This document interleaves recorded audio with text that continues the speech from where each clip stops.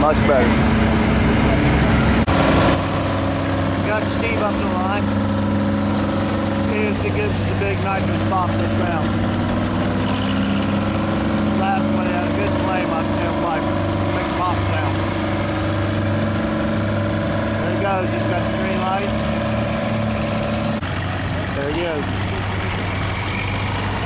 Time to go. Come on, Steve. Pull that thing up. Come on. Come on, son.